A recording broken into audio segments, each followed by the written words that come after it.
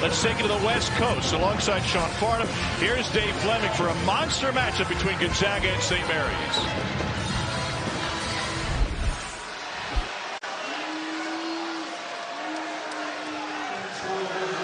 All right, we do welcome those of you just joining us from Lexington in Kentucky. A very charged atmosphere here in Moraga for a great rivalry game and an intense first minute plus. Julian Strawther just caps off a three-point play. So Gonzaga with a 3-2 lead and setting up a little pressure against the Gaels of St. Mary's. Yeah, if you could try to speed up St. Mary's, they're so deliberate in how they play, and that's a big-time turnover. Two turnovers in a row and back-to-back possessions. Anton Watson's made two terrific defensive plays already. He's had an excellent year for the Zags. This game always delivers. St. Mary's Gonzaga has been the rivalry for more than a decade in this conference. This year in particular, though, Zags in second place, 9-0 St. Mary's, 8-1 Gonzaga. Huge game in this conference. First of two meetings between the two teams. Drew Timme, the All-American, goes to work and missed the shot with his left hand. Timme 0-2 to start from the field so far. But if I'm Randy Bennett, I'm concerned about the execution at this end. You've got to be able to set up your defense, and two turnovers have allowed opportunities for Gonzaga to get to the other end of the floor. Uh, the style difference has always been a story of this rivalry. Gonzaga likes to play free and open and fast, and this year leading the country in scoring field goal shooting. St. Mary's under Randy Bennett always one of the best defensive teams in the country. And this year even better. And one of the other added components for the St. Mary's team and why they're undefeated is they rebound the ball really, really well. Mitchell Saxen got the defender in the air and then lays it in.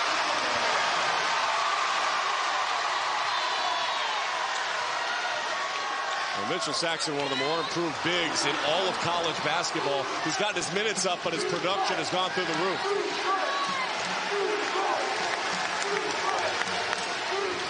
Nolan Hickman, the young guard, tries to enter it to Timme, who makes his move and scores his first basket of the night. Yeah, Mitchell Saxen let Timme get to that left shoulder. That was one of the things they talked about at shoot around. If you're going to wall up in body, you can't allow Timme to turn to his left shoulder. That time he did, and Timme was able to finish. Saxen will get another touchdown low. Aidan Mahaney, the tremendous young player for the Gaels, freshman, almost turned it over. Logan Johnson finds Kyle Bowen. His three, not close. He guided that one. He didn't shoot that one with any kind of confidence. He hasn't scored in the last two games. He's been a much improved offensive. He's always been a great defensive player. He's had a really good offensive year, but he's in a funk. Hickman got rid of Mahaney and hits the step back three. Great job that time, shifting the defensive player, getting him on ice skates, pulling it back, getting his feet set underneath him. Nolan Hickman early on looks like he's taken this matchup with Mahaney, who's been such a great young player. Nolan's taking it personally. Saxen whips it over to Logan Johnson, a high arcing three, and that one was way off the mark. He had a rough shooting night on Thursday. Dave, that one wasn't close. That Not was close. five feet off, and it was not deflected. Rasir Bolton down the lane had his shot blocked. Johnson then was fouled.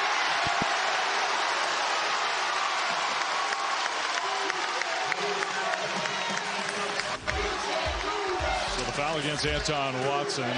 Dave Mahaney, as a freshman, has made a reputation as a big shot maker. Yeah, Monty Mahaney, a freshman from just down the road. This was the game winner, 0.3 seconds left to go against BYU. And then just the other night on this court, little jab step. USF looked like they were crawling back into it, and that was the one that drove the dagger. Gaels can get bogged down at the offensive end of the floor, and Mahaney adds a little bit to that this year, which helps his team out a ton. Alex Ducas good move, but he couldn't finish with the left hand. So now the Zags out in the open court. Julian Strawther thought about the three in transition. Timme gets to that low block, just banging against Saxen. All kinds of contact, and they finally call the foul. So that'll send us to our first time out. 8-4 Gonzaga with the Zags career scoring list. He's not had a great year again shooting free throws. He's worked at it. He's down to 59%.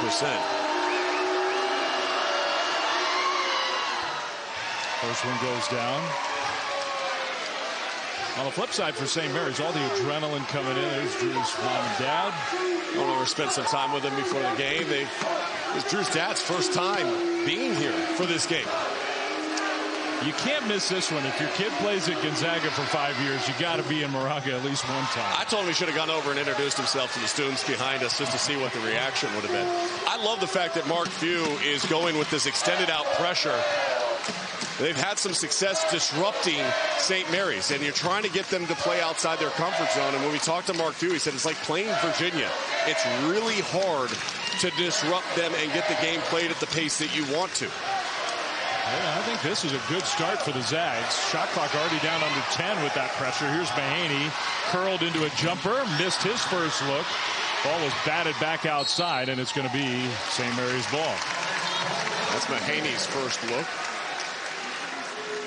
Drew Timme just five points away from moving into second. And taking over five, five points to pass four to tie second all time. He's going to be the all time leading scorer when it's all said and done. Mahaney, they left him open. And they got away with it. Aidan Mahaney's not going to miss that shot very often. And, and, we've seen St. Mary's go through scoring droughts, whether it was at BYU or here the other night against USF. And when we talked to Randy Bennett, we said, how do you avoid the drought? Because if you go for a drought against the Gonzaga Bulldogs, they're going to take it to you. And he said, one of it's limiting our turnovers. Two is making sure the right guy's taking the shot. They've had some struggles with turnovers early, but that's the guy they want shooting the ball, and that's the quality of shot that they want to see to stop the 7-0 run. Malachi Smith off the bench, and he goes right down the lane and scores his first basket. Well, both these teams have struggled at times this year to get bench production. That's a good sign for Gonzaga. They've got an early eight-point lead. Gaels haven't made a shot in a while until right there. Malachi Smith, you can't uh, you cannot allow Logan Johnson to get you going left and get back to his strong hand and get to the right. Down the lane, and that one goes down. Same spot. Notice where Gonzaga's scoring their points, though. It's it's it's it's historically what they've been able to do is get a piece of the paint. Right now, St. Mary's is not guarding the lane. They're not pinching and helping and forcing Gonzaga to shoot over the top. Logan Johnson almost daring him to shoot. That one came up way short, so he's had two ugly three-point misses. And you have to remember, he is a lefty, so when I talk about going to a strong hand, what he loves to do is rock you to his left and then cross you over to his right to create that seam. And if you overplay his left, that's what creates that lane. Malachi Smith jumped on. As, as good a year as he's had, he hasn't been a very good three-point shooter overall. But the other night, some bad misses. And at the start of this game, it's got to be a little concerning to St. Mary's. Not a real confident shooter right now. Mahaney passed up a three. In and out on the two. That's three good looks, and he's made none of them. How good has Aidan Mahaney been this year? He's like in the conversation of like a, a Brice Sensabaugh, a, a Brandon Miller as far as averaging over 15 points and shooting better than 40% from three for most of the season. That's the bigger problem. Every possession right now, the Zags are getting in the inside of the Gaels defense, and that is not easy to do. Now, that was a a great move by Timme to get in there and then finish. Mahaney swarmed and they'll call foul against Rasir Bolton. 10 point lead for the Zags. St. Mary's, you said it, that offensive funk, which tends to pop up most nights for the Gaels. At some point, it's happening early. Well, and when you play at their pace, a 10 point lead for your opponent sometimes can feel a little bit more. You, you haven't had to come back. You haven't been in this situation. Alex Ducas scored with the left hand.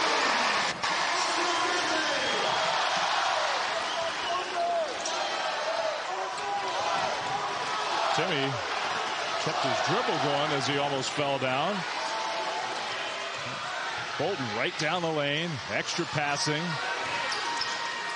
Here's Ben Gregg, the young big man. His three is good. Well, you mentioned bench points at a premium. When you're able to get some for Gonzaga, Ben Gregg can be an energy giver. We saw it at the game at BYU. He got on the glass. He made a shot. He started being aggressive, getting offensive putbacks. Marciulionis almost fired it out of bounds. I don't know how Kyle Bowen saved that one from being a turnover. Mahaney again gave up the jumper. Ducas three. No. Bowen offensive rebound and he got fouled. The environment is different. This game always feels different. You have to be able to handle it. Gonzaga's seeing this offensively from Gonzaga.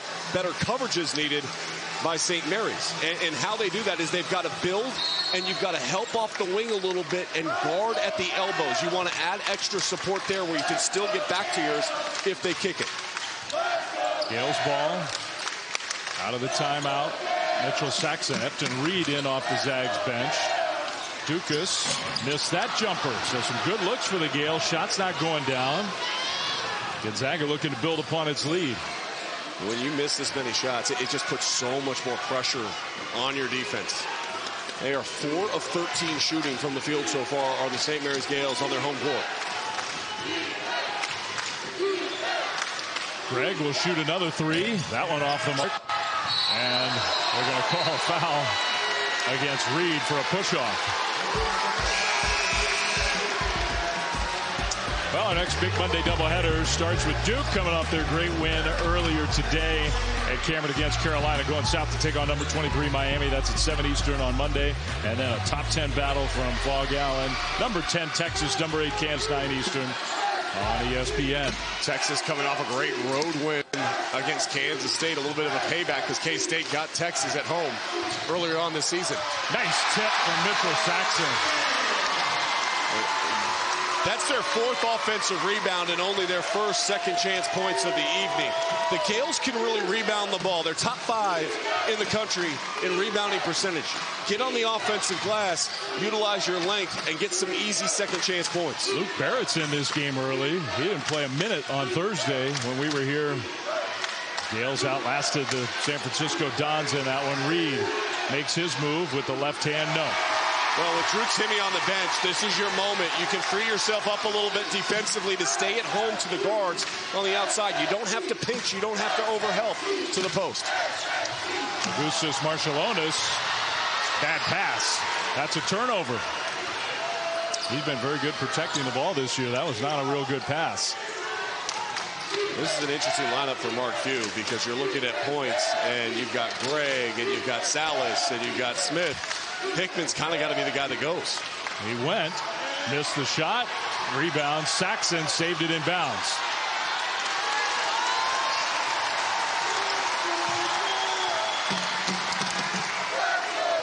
Randy Bennett's got both Alex Ducas and Logan Johnson on the bench. Neither shooting the ball well in the early going. Mahaney, three, too strong. Bowen high up, but Reid snatched it away.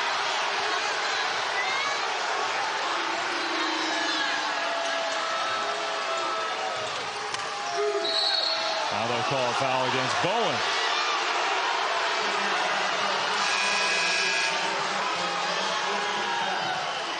Massive substitutions, almost a line shift for Mark Few with Watson, Strawther, and Bolton all back into the game.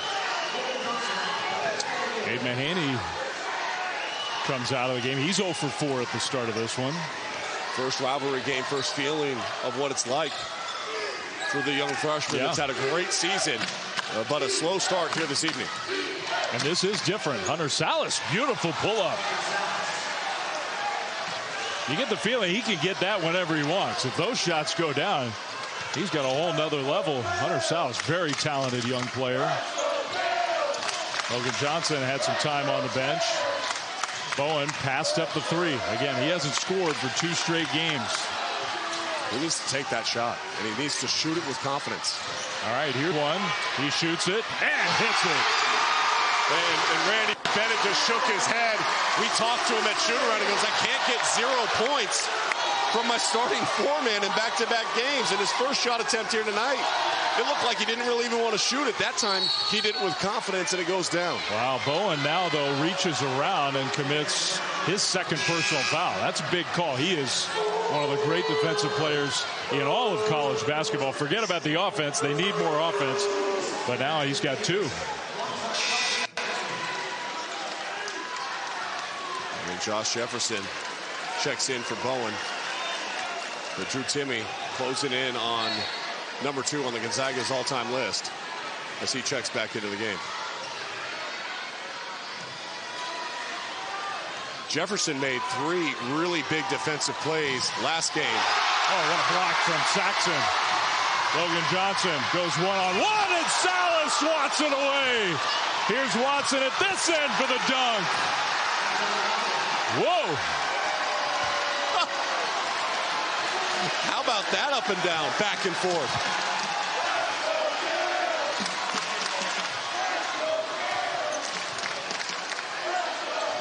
Here's Jefferson. Three. Good.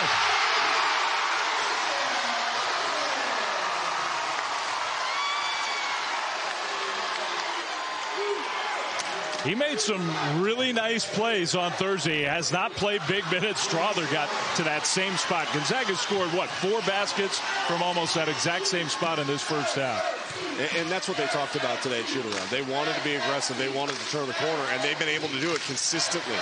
The Gaels have to make an adjustment and keep them outside the paint, at least above the logo. Double team was coming. Now a layup, no good. Logan Johnson, Watson just held his ground, and Johnson missed another one.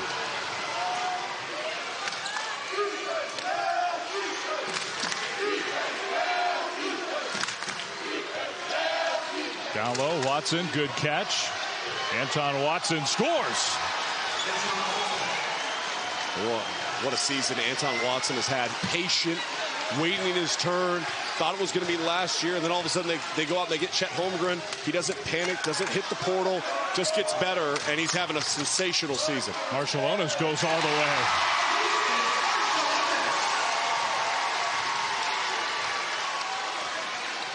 So the game's picked up some flow for St. Mary's. Problem is, for them, the Zags offense has been tremendous in this first half one of the best field goal percentage defensive teams in the country, and they're allowing the Zags to shoot 61% so far here in the first half. Really impressive so far. They're going to call the foul against Logan Johnson, sort of riding along with Bolton. We've seen some great action across the country today, some big games, but how about this?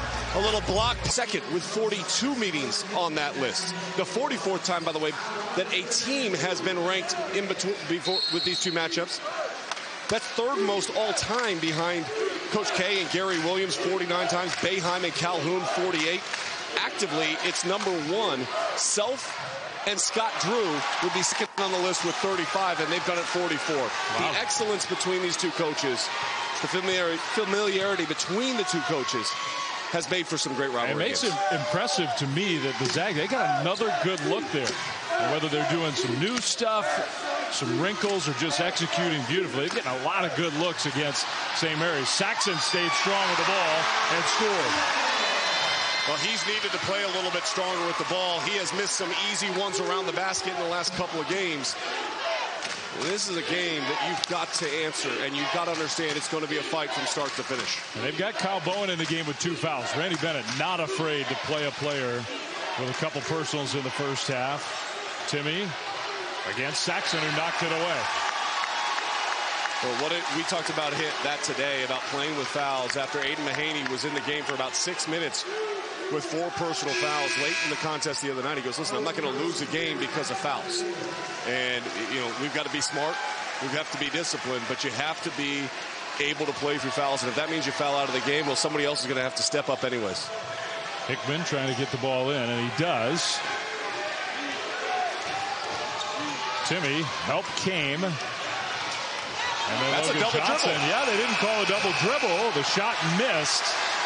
I, I, thought that was a double dribble. He dribbled it on the catch, and then he picked it up, and then he put it down again.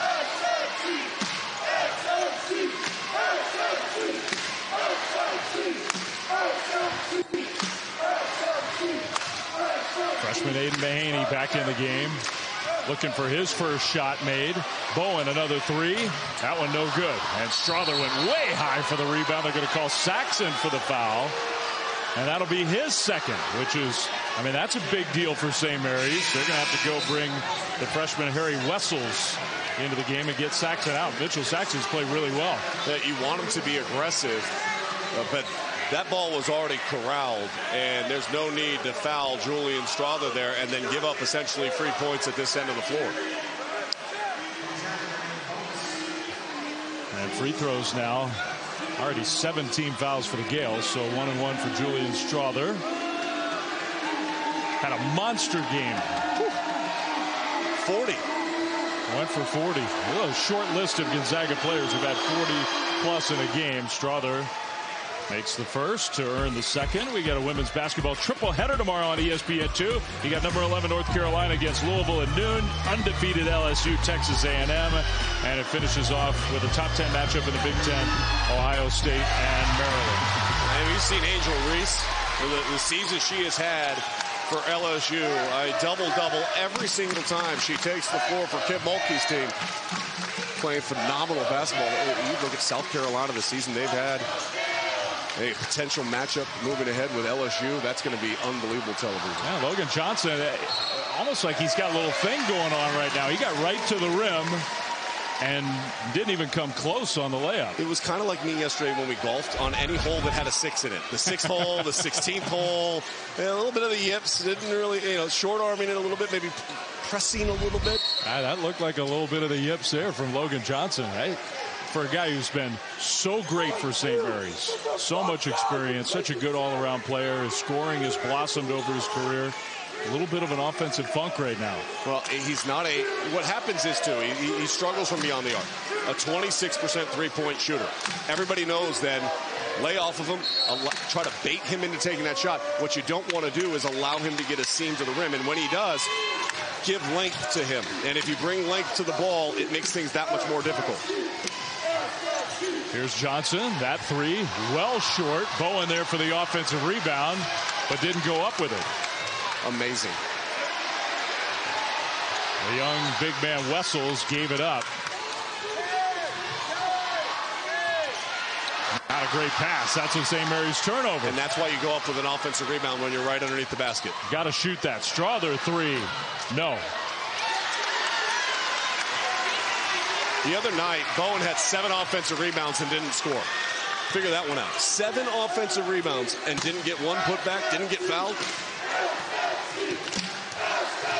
Well, he definitely had a chance to go back with that last one. Again, Logan Johnson, good defense, went with the right hand. No. Rebound Watson.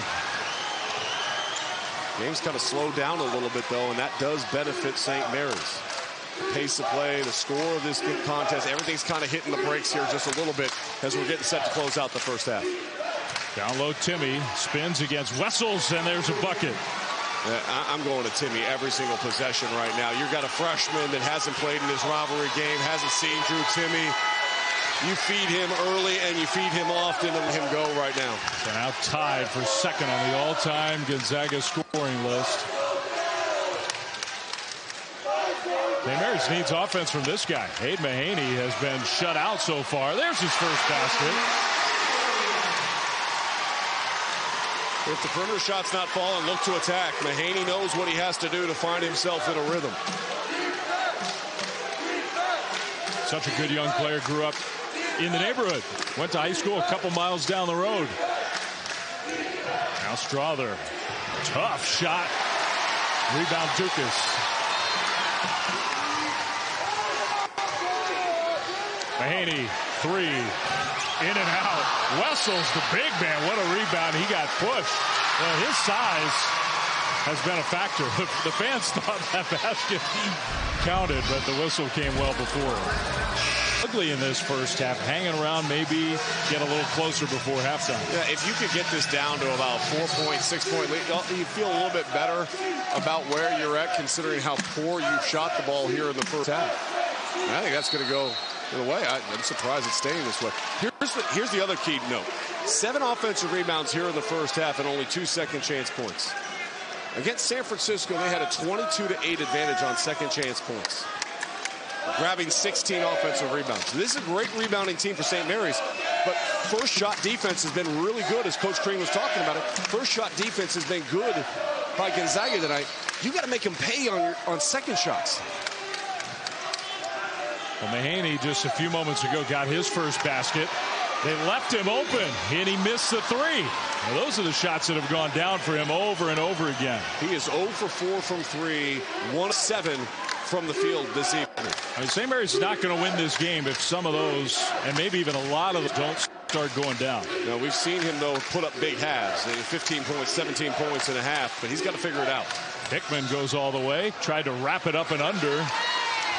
That's the size of the freshman. Harry Wessels is just a monstrous dude out there. Didn't have to do anything but stand there.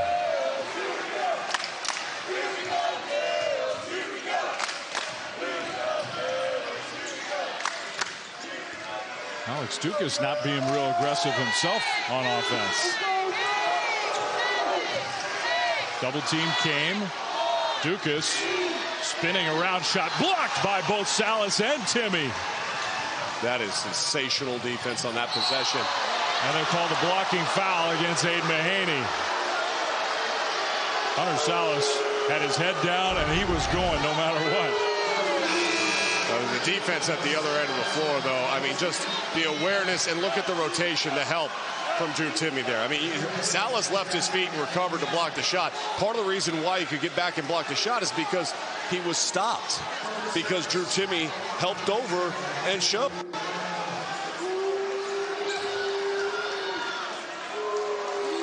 That has been called a charge all year long, by yeah. the way. Uh, that, that looked like a charge to me. But Hunter Sallis being super aggressive here. Yeah. And the reason why it's a charge, Salas extended out his elbow. They got to find something here at the offensive end, though. I mean, you got to be able to score some points against the Zags if you want to pull the upset off. Russell's down low over top Timme. Yes, with a foul. It hung up there forever.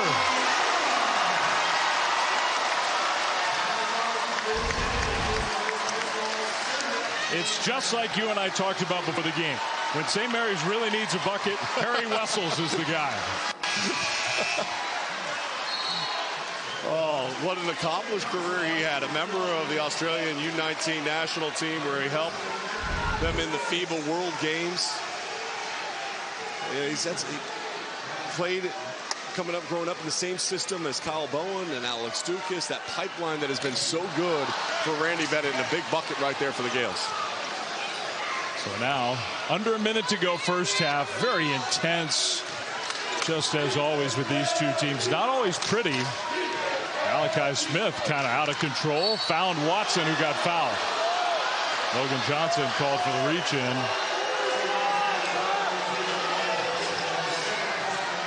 Well, one of the things the Zags have done is they've gotten to the free throw line. Uh, St. Mary's has only attempted one free throw here in the first half. It's a team that doesn't get to the free throw line very frequently. But what we anticipate being having a very close game, getting to the free throw line, gaining some points there. Watson found a way to get that one to go down. No, we got NBA tomorrow. Joel Embiid. He's playing like an MVP these days. He's inside Madison Square Garden. He and the Sixers taking on the Knicks. 6 Eastern tomorrow on ESPN and the app. Throw for Anton Watson. He made them both. So you're right. The free throw line has been a, a big difference in this first half.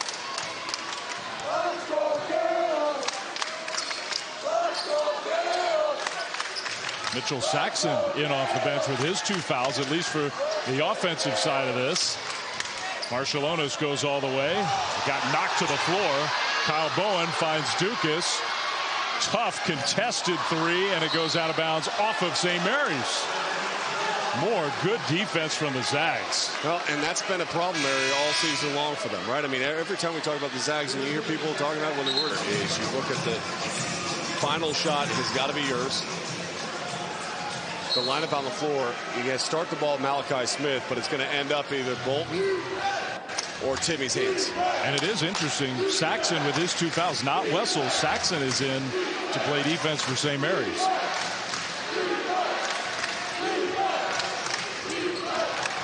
Timme set the screen. Smith bricked it. Rebound Gaels and the heave at the horn will sail over the backboard. Halftime is here and Gonzaga is going to take an eight point lead into the locker room. I think if you're St. Mary's, you got to feel pretty good the fact that you've kept this under double digits. If you're Mark Few, you're establishing and reestablish him coming out of the break here. Get the ball in his hand. And for St. Mary's, I mean, look, Zag's defense was really solid. They need their shooters to start making shots. Well, they had some open looks, too. I mean, Logan Johnson missed a three-pointer by five feet. Aidan Mahaney had a couple go around the rim and out. But when you look at Ducas, Mahaney, and Johnson combined, four of 22 shooting in the first half. This St. Mary's team is not going to beat very many teams with those kind of numbers. Johnson on the attack. Logan Johnson passed it away. Shot clock Almost all the way down. Johnson flips it up and in.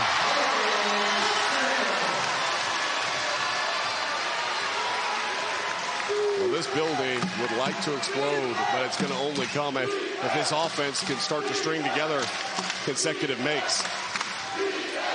Milestone night for Drew Timme. Logan Johnson has gone over a thousand career points tonight. Alex Ducas called for a foul right away. So Ducas, who had one in the first, now has two for the game. St. Mary's got into some foul trouble in the first half. We're really not used to saying that. One thing the Zags and the Gaels typically both do well is defend without fouling.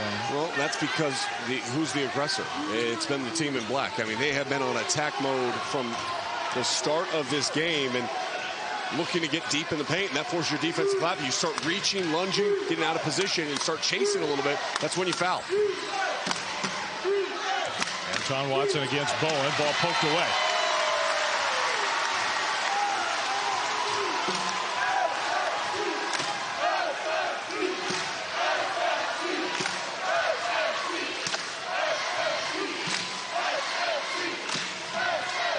Number 20 in red's got to have a big second half.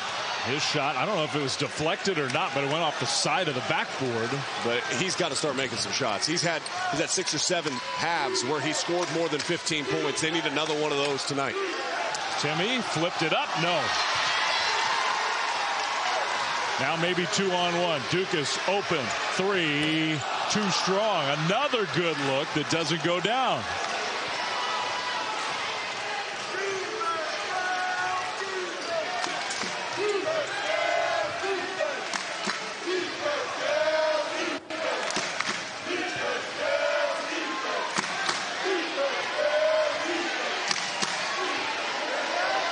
Timme against Saxen. That's going to be a foul on the ground. Does it count? They're going to count it. Count the basket. Uh, the help came too late there. I mean, once Drew Timme, if you're going to commit to wanting to bring multiple players to the ball, you've got to go and you've got to try to make him pass out of this. Watch the patience and poise. Drew Timme has elite level footwork, but he also has patience. And he, he reads and looks and surveys the defense. And if you're late bringing help, and he's got room to turn over that left shoulder and get in the paint. He's going to make you pay. And that's Mahaney. Free throw no good. That's his third foul.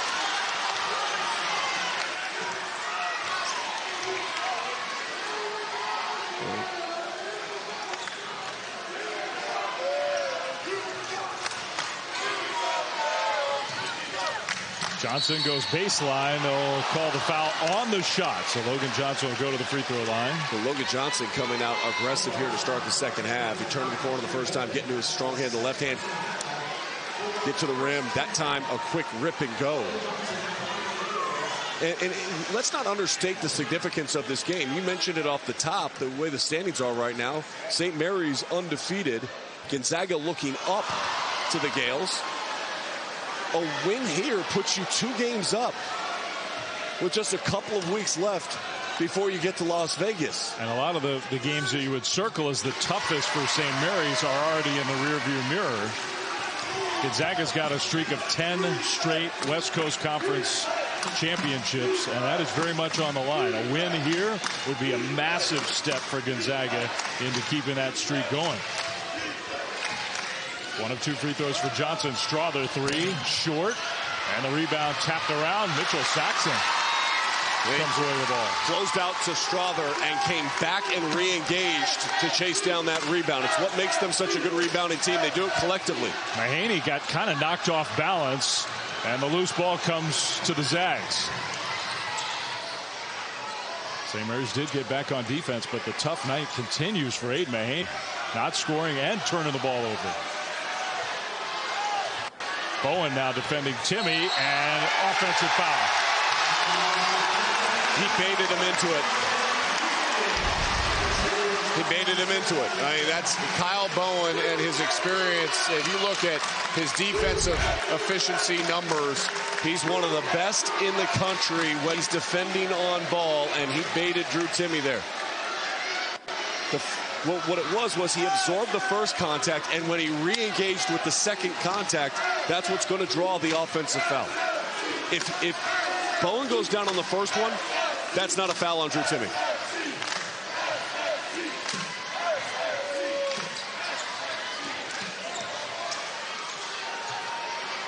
Mitchell Saxen, who got into foul trouble in the first half, but was off to a good start. Bad pass stolen by Hickman. Another St. Mary's turnover. Here's Timme. Little shot fake, and he finishes. We've talked to Drew Timme a couple of times, and he goes back to that game in this building a year ago, and it stings for him still because these are the games you remember. Uh, and he did not play well. He's certainly having a good performance so far this evening. Yes, he is. Meanwhile, St. Mary's offense really struggling. Ducas three. Good.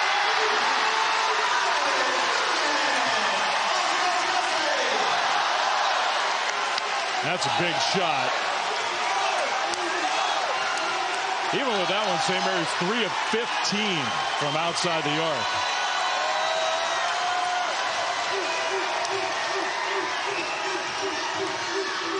Spin move. Timme scores again. The footwork around the basket, unparalleled in college hoops. The composure and the emotion in which he plays with, too. I mean, he just understand the significance of this game. We saw it with Carolina Duke earlier today. Wow, that was a great catch by Saxen, not a great pass. And then he draws the foul. Well, if St. Mary's wants to figure out how they're going to win this game, it's 20 wins. Their non-conference schedule was one of the most difficult in all the country, if not the most difficult. And now, look, you lose a game in conference play to LMU at home, and I think everybody kind of sits there and goes, wait, that doesn't happen. You know why? Because it hasn't happened. It was the first home loss that Drew Timme has ever experienced in conference play at home. Now, this year is a little bit different. They haven't been nearly as dominant. You look at the scoring margin and how they've been able to blow out teams.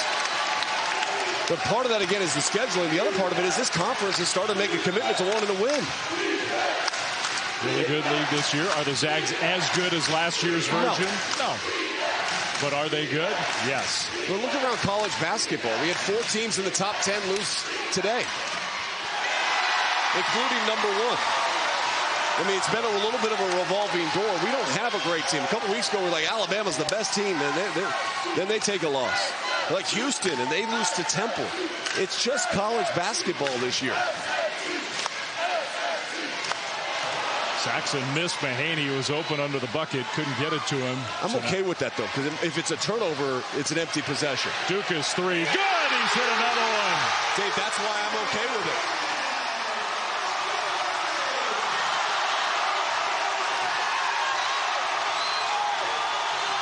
Lead is down to three. Strawther fell down. Here's Johnson. Layup. No, he missed it. He rushed it. This place would have exploded, would have made it a one-point game.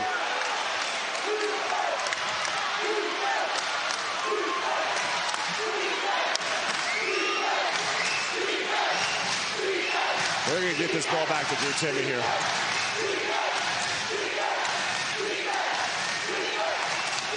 There he is, working his way closer.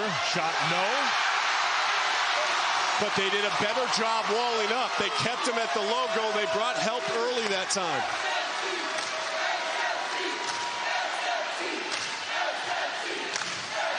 Well, Ducas is starting to feel it. He's got the ball here. He'll shoot it over top Timme off to the side and the ball will carry him out of bounds. Kyle Bowen leaps over the bench. We go back to that last possession though. Watch where Mitchell Saxon is able to hold his feet. He didn't allow him to get too deep. Mahaney comes in. He starts reaching in. He doesn't get a clean look that time. If you allow him to get inside that halo, which is that little half, half circle that they have on the floor, Drew Timme gets two feet, one feet, and there, you're dead.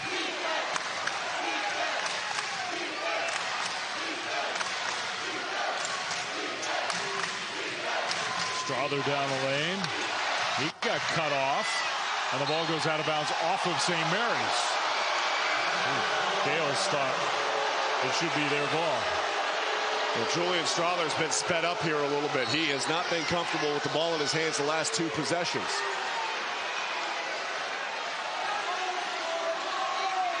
That comes with your base. You got to keep your feet underneath you. Make sure your jump stop on balance when you're going to pick the ball up. A little bit of a drought here for the Zags offense. Malachi Smith, little floater is good. Beautiful touch there.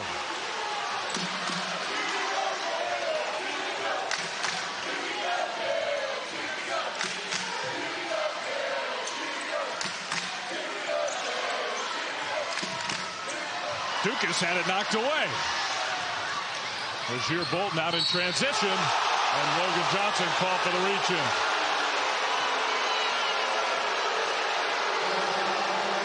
That'll be his third foul.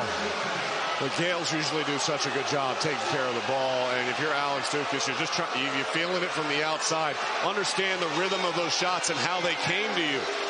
You start forcing it a little bit. You start doing things uncharacteristic, trying to take it off the bounce. You let the ball get away from your body. And Logan Johnson thought that one was clean.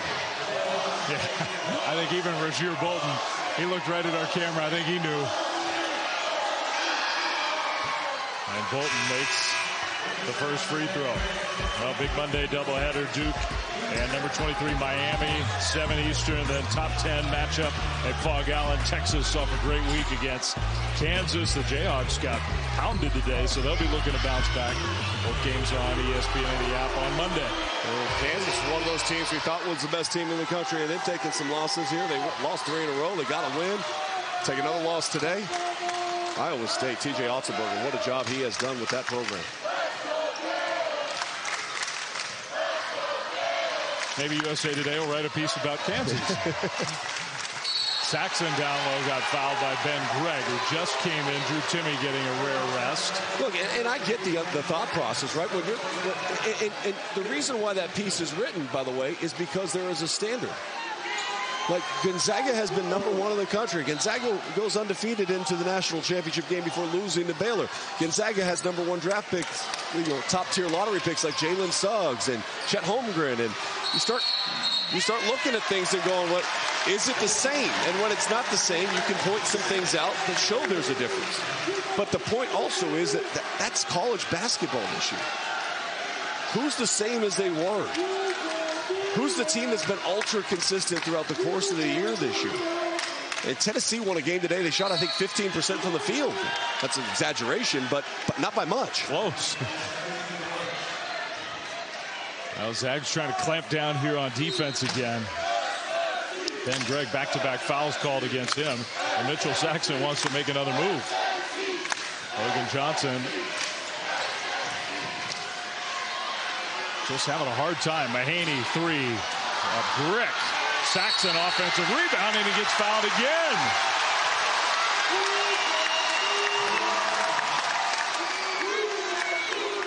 Rebounding numbers starting to really go in the favor of St. Mary's. They, they are plus eight on the boards right now, which is about their season average, but they've been able to do it on the offensive glass. They've got to be able to find a way to score when they get their second chance points. And Randy Bennett wants to talk it, talk it over because sometimes in a game like this, how you execute in an out of bounds underneath, even in a moment with 12 minutes left to go, can help manufacture a win. Well, and, you know, what made him so unique was that he was a champion on the court, but he was really a champion off the court. I mean, giving a voice to issues that people were uncomfortable talking about and not being afraid to do so. One of the first athletes to really use his voice to bring awareness to social issues that needed to be addressed. Out of the timeout, St. Mary's ball. Logan Johnson, Hunter Sallis, that's an offensive foul. So the Gaels turn it over again, and that sends us to another timeout. Gonzaga's defense is playing so well. That's the fourth against Logan. The first of Jon Scheyer as the head coach, able to get that victory. And we mentioned that Tennessee game. He shot 27%. Virginia, who, who was such a good, has played so well throughout the course of the season. And we talk about their defense. How about the fact that Virginia Tech shot 51%? They're going to call a foul. Nolan Hickman driving to the basket. You shoot 51% against Tony Bennett's team. Yeah. Pretty impressive. And dropped 74 points. Nice win for them. That's the third personal against Mitchell Saxen. We just saw Logan Johnson pick up his fourth before the timeout. He's on the bench. So Saxen's got three. Aid Mahaney's got three. As Randy Bennett said, he's going to let his guys play. You got to kind of balance it out. You can't have everybody foul out of the contest. The Gaels hit the three to cut the lead to three, and they haven't scored since. Gonzaga's defense continues to just stifle St. Mary's tonight.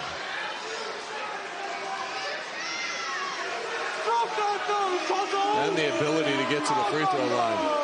You know, St. Mary's has got four free throws here in the second half, which is three more than they had in the first half. But they're minus six from the free throw line as far as points from the free throw line in this game. And St. Mary's just has to get number 20 going. Hey, Mahaney. Well, he's not. I mean, the defense has been sensational on him. Marciulionis kind of a step through, and then he got knocked off balance. Ben Gregg came over and fouled him. That'll be Gregg's third personal foul. And they've all come in the last few minutes. Uh, you know, here's one of the things you and I have talked about over the last couple of weeks. We've had St. Mary's a couple of times. Is Logan Johnson's been great, but one of the big reasons why St. Mary's has had success is because Marshall Marciulionis at the free throw line. He values the basketball, hasn't turned it over. He's picked up his scoring, back-to-back 10-plus point games. You know, and that was a simple move. He didn't overcomplicate it, didn't try to do too much.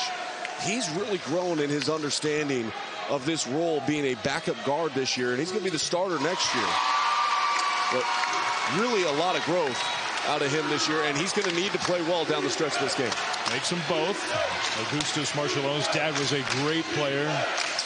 I loved watching him growing up. I grew up in this area. I used to go to Oakland Coliseum and watch him. Hickman again. Almost traveled, and they called a foul. Wow. That was a travel. I, I thought he picked up his pivot foot before there was contact. Is that on Saxen? That's his fourth. Oh, you watch this. I mean, that was definitely a travel, wasn't it? And it wasn't on Saxen either. No. I mean, they got the wrong guy for the foul, and they missed the travel. I I, okay, it wasn't on Saxen. They called it on Mahaney. I thought it was on Marciulionis. So what do I know? And Mahaney goes to the bench with four fouls. Sallis lost the ball. Here's Marciulionis. Ducas, extra pass. Logan Johnson, they're not even guarding him. He's going to go to the bucket. Timme got the block. One play by Timme. And here's the problem. You make the extra pass, which is the right play, but you're passing it to somebody that is not comfortable at shooting the three-point shot, nor are they efficient at doing so. So you're taking a good shot and turning it into a poor shot. Timme scores. What a move by Drew Timme. You do that enough against Gonzaga, they make you pay at the other end of the floor.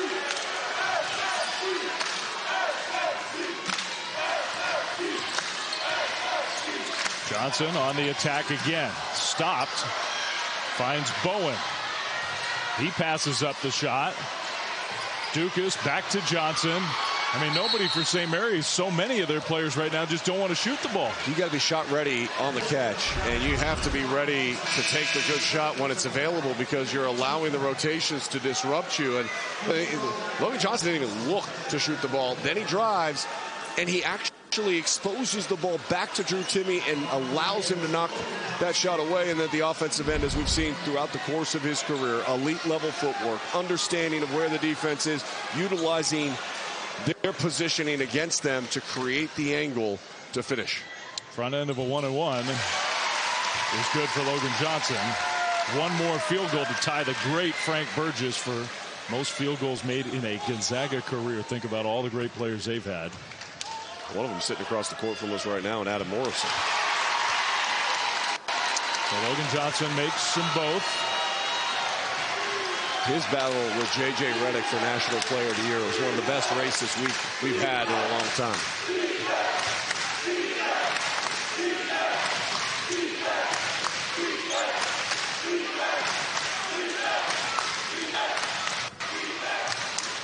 Anton Watson, he almost traveled. Tough backdoor pass out of bounds off of Strawther.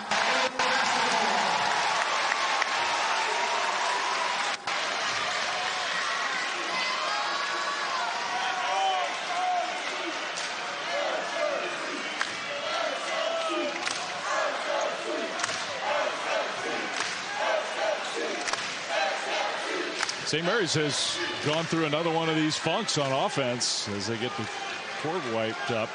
Five minutes without a shot made from the field. Five minutes. We've seen that over and over again. I mean, it's the first question I asked Randy Bennett today after shoot around. How do you avoid the droughts? You know, when you, pace of play is one thing, but avoiding the droughts within that, your efficiency with how you play becomes a lot more important when you limit possessions. Bowen wide open three, no. And a foul on the three. So Watson committed the foul.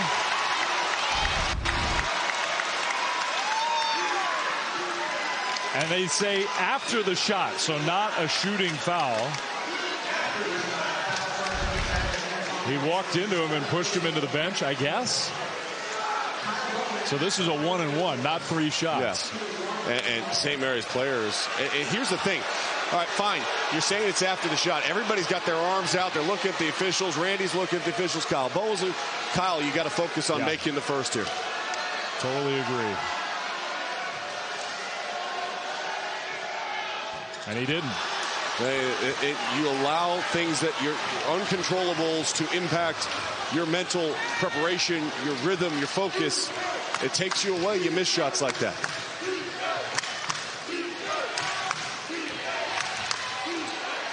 The way, when has an official ever been like, okay, you're right, I'll give you three free throws?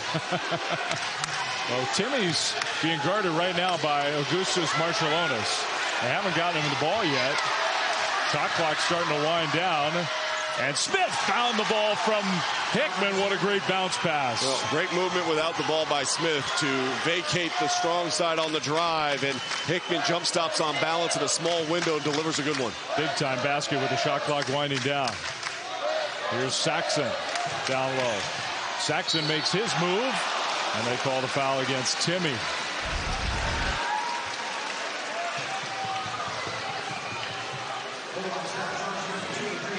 Great job late in the shot clock running down. Watch, see how Logan Johnson steps up. Smith goes to the opposite side, hides under the paint as Drew Timme's posting. There's nobody on him in a beautiful wraparound. So double bonus now for the Gaels for the rest of the game. Saxen. Well, now you got to you can you're the same Mary's. You really can slow this game down. Yeah. Get to the free throw line. You're, you can not score in the half court. You've struggled all night long doing that. Drew Timme just checked out of the game here. Good job by Mark Few to try to buy him these 35 seconds and then the under eight media timeout to get him some rest to try to keep him fresh down the stretch. So both free throws good for Mitchell Saxen. Harry Wessels will give him a blow. Mitchell Saxen's playing well tonight. Yeah. But could have been an N1. Yep. Instead of going to the free throw line, you could have made an N1 and Here we go, Cody. Uh, despite all of it, St. Mary's is in this game. Timme on the bench. Smith sort of slipped. Hickman. And they'll call Bowen for the bump. A long way for the basket. Kyle Bowen called for the personal, his third.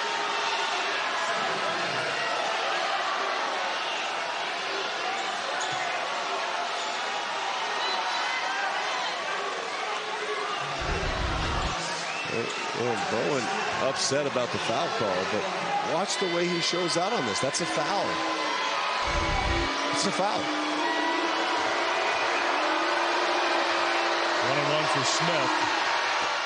Perfect. Well, here's the thing, too. If the officials call it the same way from the start to the finish, you as a player have to adjust. You have to understand how the game is being officiated. Different crews may call different things. Get it. You hope that they don't, and everybody calls it the exact same way every single night. That's not the way it works. And this game, look, have there been some calls that maybe I thought weren't made correctly? Yeah, there always are, but this game has been super physical. And there are going to be some whistles. Bowen. Hesitated. Everybody's hesitating offensively right now for St. Mary's. Yeah. Logan Johnson. Good help from Ben Gregg.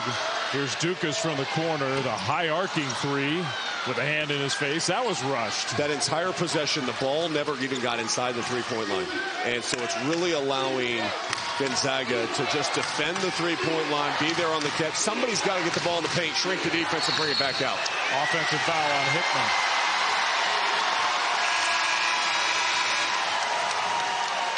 Seven and a half minutes to go in Moraga. The St. Mary's have a run in them? The Gaels are down. Beat San Francisco. This is not San Francisco, though. This is the Gonzaga Bulldogs. You're going to have to make some shots down the stretch. Aidan Mahaney, 1 of 10. Logan Johnson, 2 of 11. They haven't really taken advantage of Drew Timme being on the bench. He won't stay on the bench much longer. He's going to go to the scorer's table now. Mahaney gets the handoff. Even that is difficult tonight against a swarming Gonzaga defense. Johnson down the lane. Logan Johnson with the right hand. And they got the ball inside the three-point line. Logan Johnson, when he gets in that area, very efficient.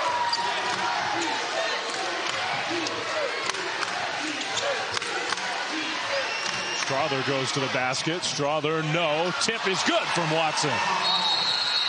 And Alex Ducas got popped.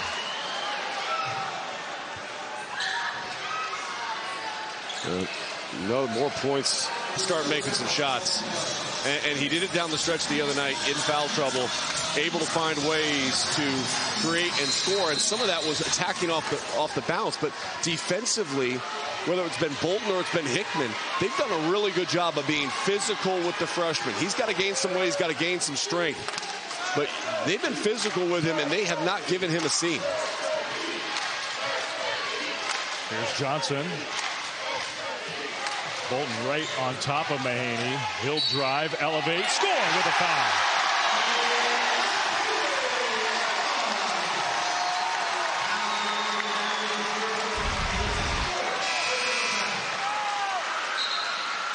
Uh, this is what I'm talking about. He finally got a seam. He got Bolton to open up his hips. On the drive, he opened up his hips, and he gave him that lane, and then that forced the contact down low underneath.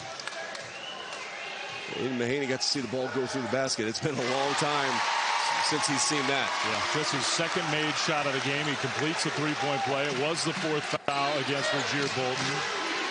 Six and a half minutes to go. Five-point lead for Gonzaga.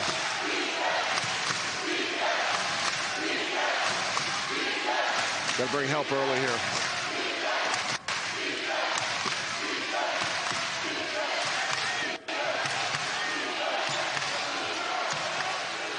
Help is coming. Timme, tough shot, no.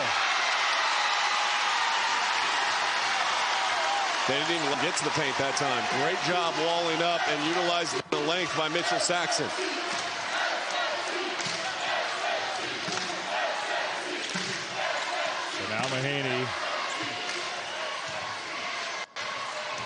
Johnson down low. Johnson.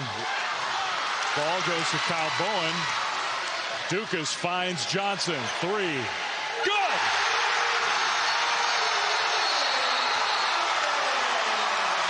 Timeout Gonzaga. And 49.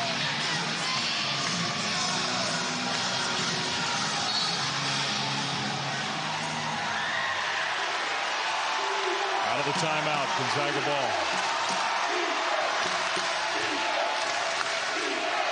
Timme's going to look to go from here if he turns and faces.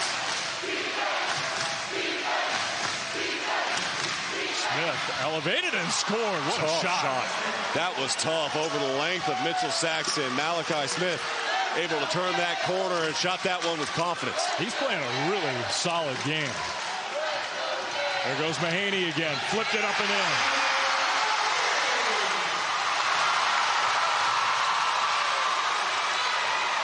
Timme, good position. Johnson knocked it oh, wow. out of bounds. No, they called the foul against him. And that's his fifth.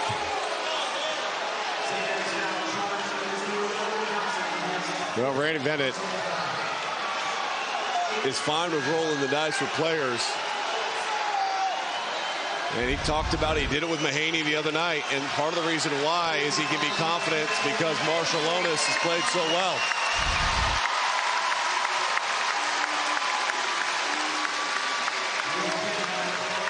Well, just after making that huge shot, now Logan Johnson is done for the night. Well, and you look at the numbers, 10 points in the second half.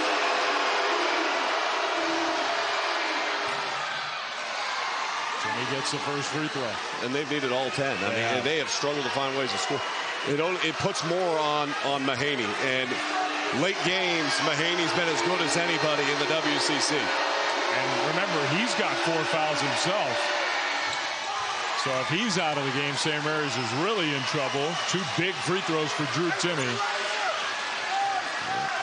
It's part of the Randy Bennett philosophy. He's willing to stick with his guys, even through foul trouble. Manny thought he was going to maybe take that shot. With the left hand high off the backboard, it's good!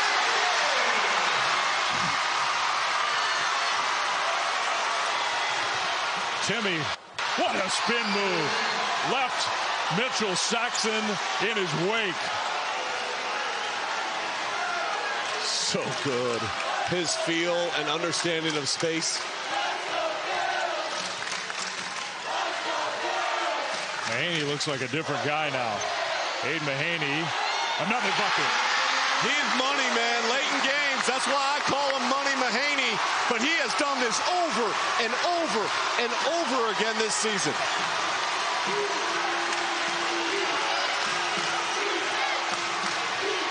Hickman slipped and somehow didn't travel. Timme lost it.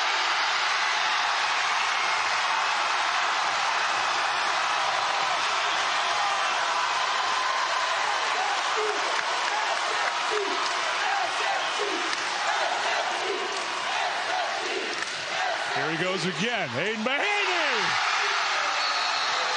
Incredible.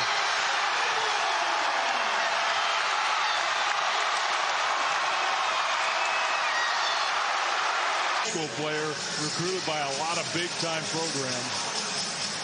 Well, and one of the more highly touted players that Randy Bennett's ever gotten. Ever. By the way, the fans here were just warned for throwing stuff on the floor. Next time it will be a technical. Can't do that. Timme with the ball. Tie game. Hickman almost lost it.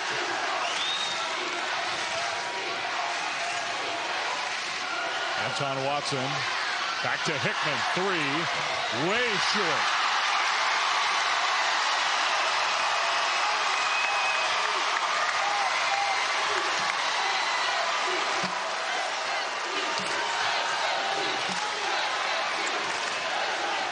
Bowen wide open. No. Mark Few basically said anybody but Mahaney. He had three guys three guys. him. I might do it again. How about that respect? for a player experiencing this rivalry for the very first time. Here goes Julian Strawther. Strawther scores with Mitchell Saxen right in his face. Dave, I mean, he literally said anybody but Mahaney on the last possession. Will they do it again? And Ducas is wide open. And Mahaney kind of got it to him late. Now he's got Anton Watson on him. Mahaney got cut off. Cock clock down to five.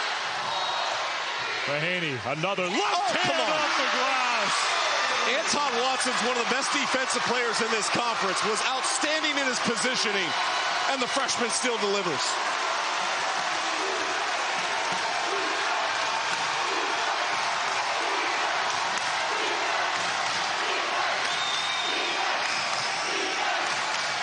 Valley All-American Timme against Kyle Bowen matched up with him. Gets it back from Hickman and offensive foul. He pulled the chair. He did. That's four on Timme. Mean, that is a little iffy on that one. Kyle Bowen gets it but he pulled the chair. He started falling back before Timme went into him, so he lost his balance and fell over the top of him. Now St. Mary's wants to use a timeout. They've got the ball. Putting up numbers like Patty Mills did. And Patty Mills, his numbers hanging up in the rafters. So here we go. St. Mary's last led when it was four to three. They played from behind the whole night.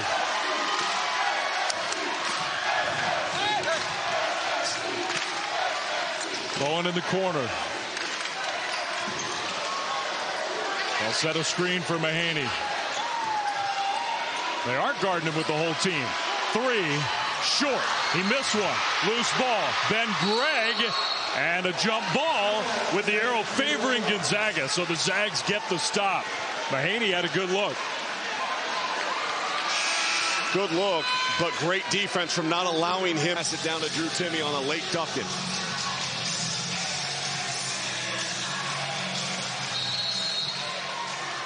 First place in the conference on the line here in early February. St. Mary's trying to make it two straight wins against the Zags on their home court. Strawther. Strawther goes to the bucket. Another one of those runners. He scores again. So it was Julian Strawther. Tiny difference. Game clock, shot clock. No timeout for St. Mary's. They're going to let him play.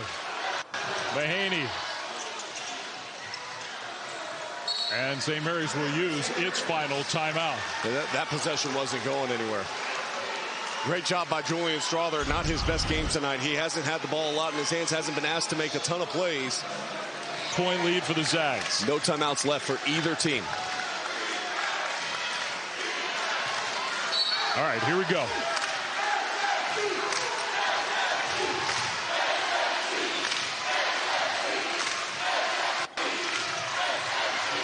Smith trying to stay with Mahaney. He did a good job of it. Great pass. Saxen lays it in. Tie game. 5.5. Here's Strawther. Pull up for the win. No. Just short. That shot went, but they say no. Michael Irving waves it off. I'm sure they'll look to make sure the shot actually went down off the carom. No matter how it ends, we're going to remember for a while. I love calling these games. You and I have done so many of them. We talked about these coaches, the familiarity, these programs, how frequently they play. Zags are going to have the ball first in overtime. And Gonzaga's played really well against a very good team, incredibly hostile environment. Timme against Saxen.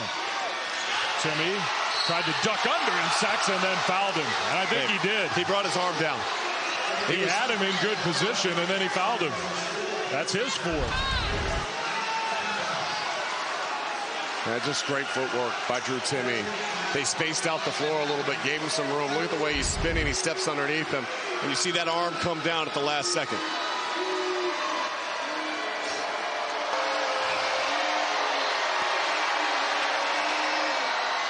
Timme making his free throws tonight.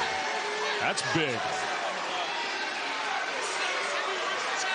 He's five of six at the line. He's got 21 to lead everybody.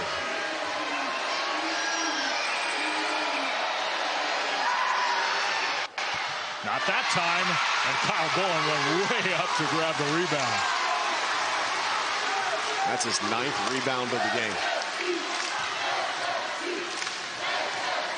Mahaney backboard Ducas layup good.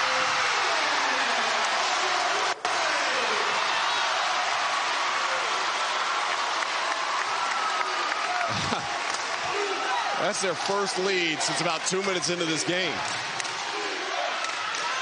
Amazing. And it comes here in overtime. Hickman. Strawther. Catch and shoot three. Too strong. Rebound Saxen.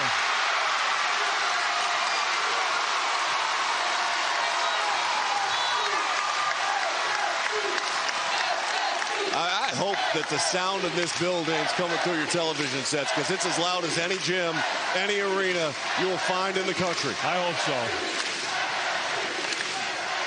It's just deafeningly loud. Marciulionis with the left hand. Channeling Aidan Mahaney. Timme, the pass, and they're going to call a foul. It's not Mahaney, it's Bowen who gets called for the personal. And that is his fourth personal foul. Hey, maybe it goes without saying since St. Mary's last led two minutes into the game, but this is the biggest lead all night for the Gaels. Randy Bennett unhappy with that last call.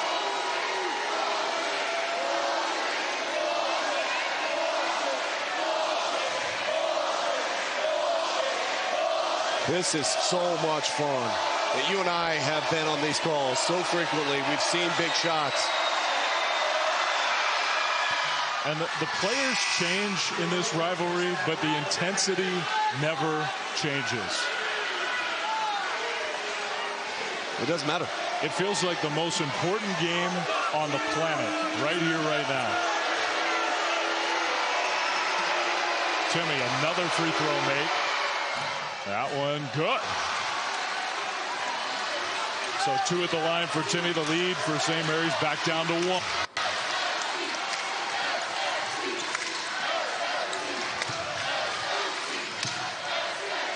Mahaney, three.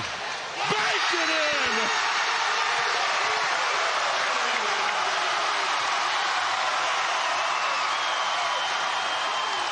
There goes Timme against Bowen, who did not commit the foul.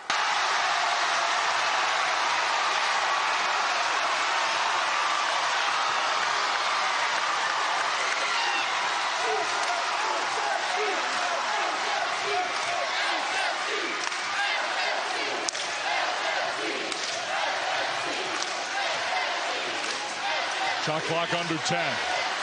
Another screen from Saxen. Mahaney finds him. Layup, good. Aidan Mahaney's that dude. He's, he's taking over the game. He's that guy. And I've been saying this for the last couple weeks. He's going to be a pro. He's going to play.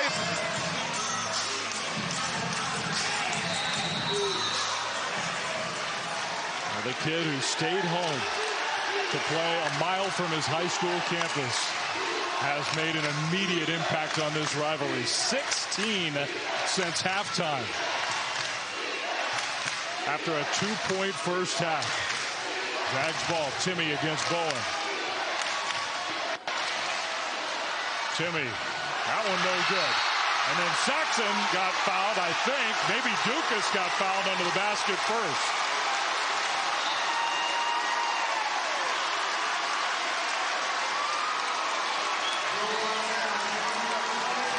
Called the foul against Watson. So that means Mitchell Saxen is going to be the guy to go to the free throw line. You know, we, we talked about St. Mary's throughout the course of the season, and we were questioning even during Gonzaga games why they're not nationally ranked. Why aren't they nationally ranked? Why don't they get the respect? Tonight's about respect for this team and what Randy Bennett has done this year. If they're able to hold on here in the final two minutes and 14 seconds, this will be the signature win that I think most of the nation's going, okay, we see the net rankings at six. See all the metrics love you. We know you defend. Can you knock off the Zags? And you look at what these two coaches, these two programs have done in the last decade. These are the winningest programs in college basketball. Uh, they, they are elite. Saxen made just one. The Zags still have a shot here. There's still 2.10 to go. It's not like we're in the final seconds. Gonzaga cannot afford empty possessions, though. Marciulionis poked it away, and now they're going to call a foul. That's going to foul Mitchell Saxen out of the game. His third straight triple-double, 15 and 11. But that's going to be the foul that gets him out of the game. And I understand why you have to call it, but I hate those fouls where players are just diving for a loose ball, and that's what gets the whistle. But Mitchell Saxen, second St. Mary's player to be disqualified now. Well, and then that, you're going to go back to Joshua Jefferson, the freshman. He'll check in and hit the big three in the first half in the corner. Huge ovation for Saxen. He earned it. That's one of the best games he's ever played. It really is. Because you have to consider who he's guarding, who he's playing against. But this is the last thing you want for Randy Bennett, though, to stop the clock and allow the Gonzaga Bulldogs to go to the free throw line. But Strawther misses the first of two. Worth noting again, a win by St. Mary's puts Gonzaga two games back of the Gaels. He missed them both.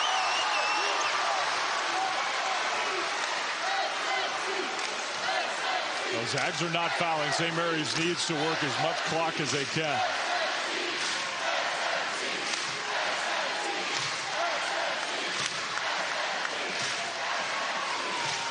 Here goes Aidan Mahaney. Shot clock down to five. Mahaney, crossover, three. Too strong. Timme rebound. Zags got to go. Under a minute and a half to play.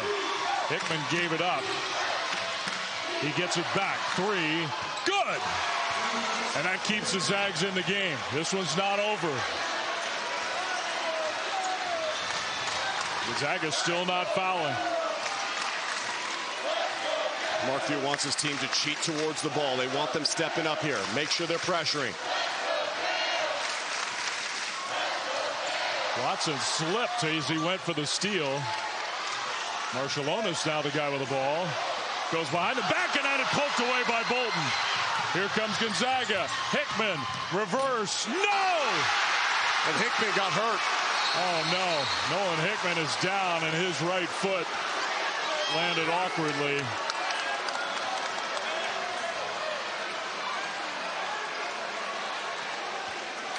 Foul. You can trap right away to try to see if you can create a turnover. That would be most ideal. But if you're St. Mary's, you got to be firm with the basketball. Make sure you don't turn it over. Marciulionis gets fouled by Strawther. St. Mary's 11 of 15 from the free throw line on the game. 14 of those have come in the second half. You pointed it out in the first half. There was a big differential. Gonzaga was the team getting to the line.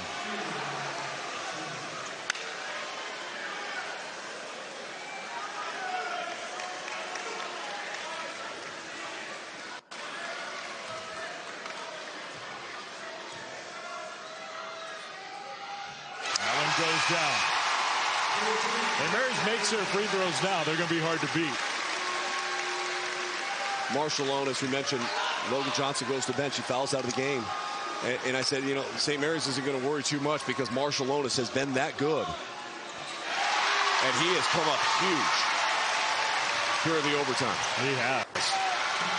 Here goes Strawther, and he slipped and fell.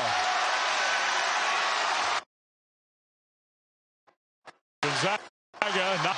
Here's Ducas, and he had it stripped by Bolton. What a play by Rasir Bolton. as Ducas was going up to dunk it.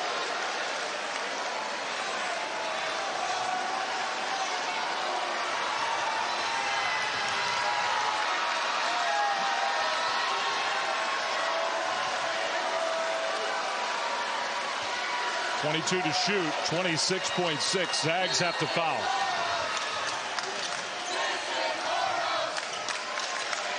St. Mary's had the one timeout and they used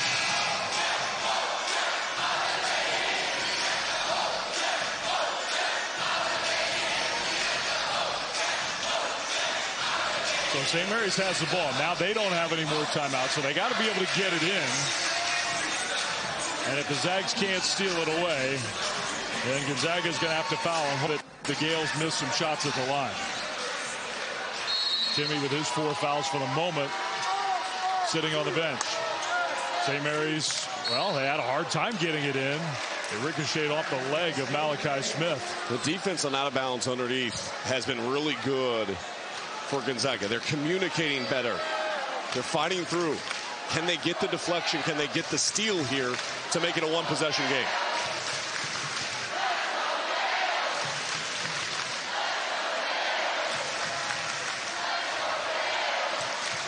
It's the second year in a row. It's becoming a tradition when we come to this gym where you and I are we're having to get ready for a stampede. There's Last no place in the country where the students are closer to us. Well, you had a you had a broken elbow last year, and our table went like four feet out on the floor. I'll protect you again this year. Partner. I can defend myself this time. At least some. Ducas catches the ball. And Julian Strawther commits the foul. So Alex Ducas goes to the line. And we don't have Molly McGrath with us. She was here in the midst of all of the chaos. I'm sure she's watching. Everybody's watching these free throws, though, right here. Ducas makes the first of two. Yeah, they know now, Gaels fans.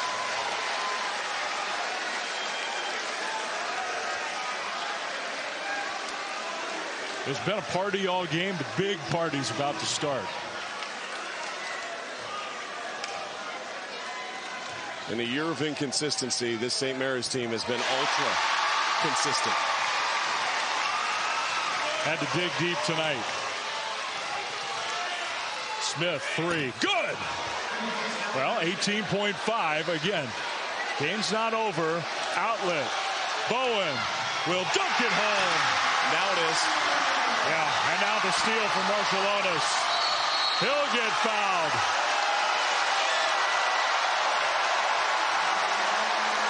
Randy Bennett got 500 just the other night. I think he's much more excited about 501 tonight.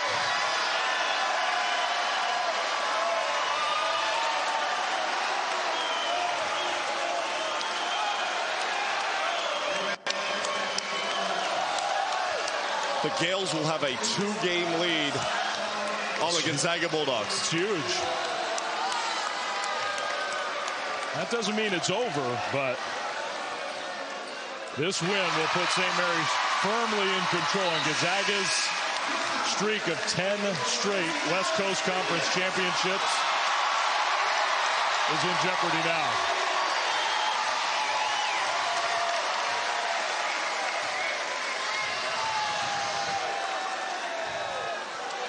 Missed free throw there. Impressive. Strawther poked away. 5.6 seconds until Bedlam. What makes this so impressive is how poorly the Gaels played, but yet because they stayed true to who they were, because they trusted their defense, because they trusted their guy Aidan Mahaney to play through the misses, they're going to reap the benefits of it and get this win. Rebound tapped out. Horn sounds. What a win for St. Mary's.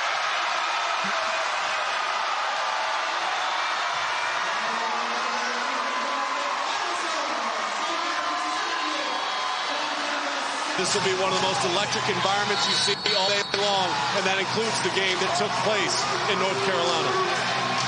Man, are they ready to go here. And Drew Timme and the Zags win the opening tip. So Gonzaga has the ball first tonight.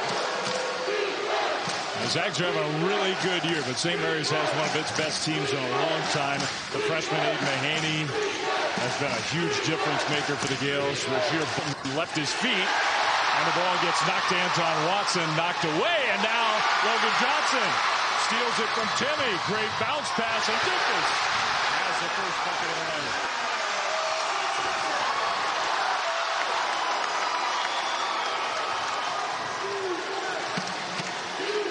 may not have to do a lot of talking this evening. That'll be a gift to all of America.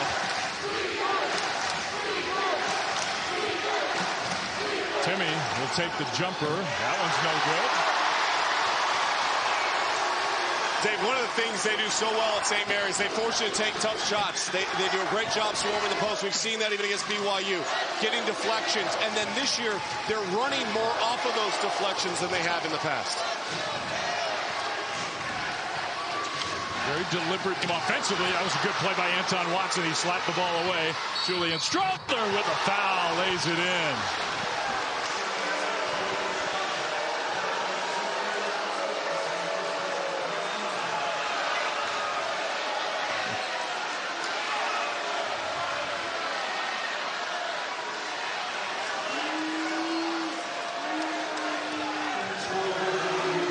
Do welcome those of you just joining us from Lexington in Kentucky. A very charged atmosphere here in Moraga for a great rivalry game and an intense first minute plus. Julian Straw